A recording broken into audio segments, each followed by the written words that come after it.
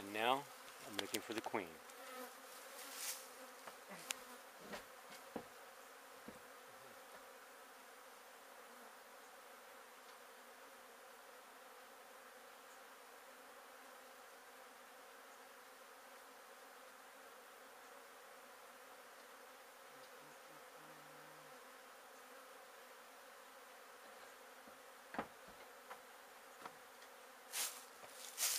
My knife here and put the box up on top.